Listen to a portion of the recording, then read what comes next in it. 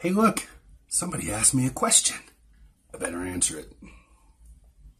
Hey, it's Aaron.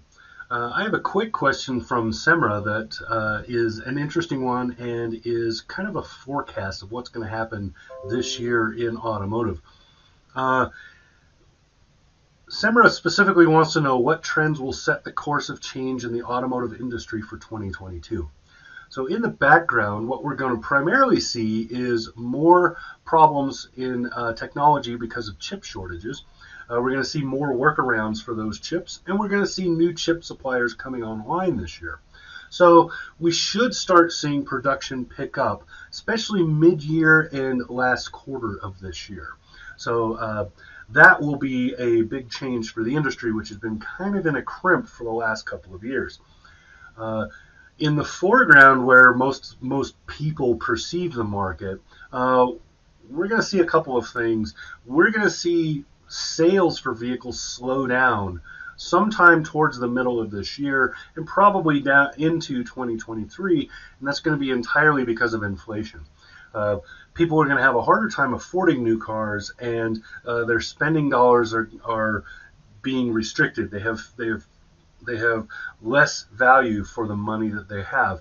And uh, the market on the other side, so people's pay and other things, have not changed to accommodate the big inflation we've seen and will continue to see. So, uh, and you know, with car prices being pushed up and the value of the dollar for uh, spending value going down, we're going to see restrictions on buying. We're going to have less and less people buying.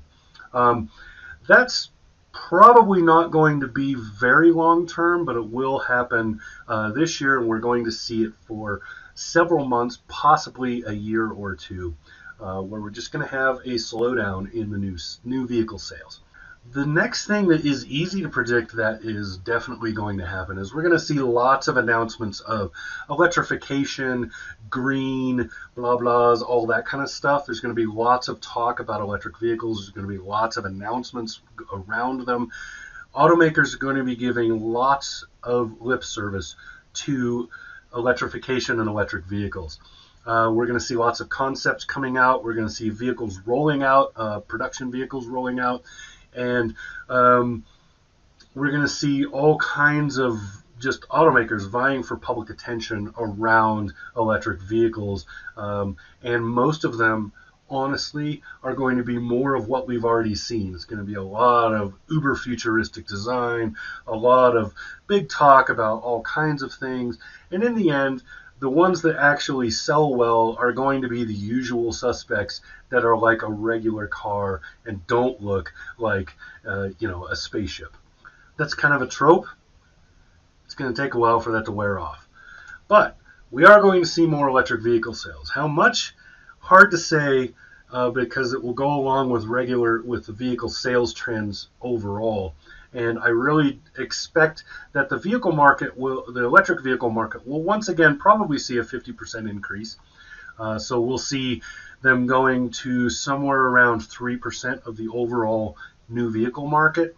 Um, but I don't see that trend as continuing indefinitely. Uh, I think we're going to see that number level off. It's probably going to hold there uh, until electric vehicles are somewhere around 10 to 15 percent, which would happen at uh, doing the math on that would happen inside of 10 years. And then once that, once we get to that point, uh, I think we'll start to see electric vehicles slowing down in terms of their sales.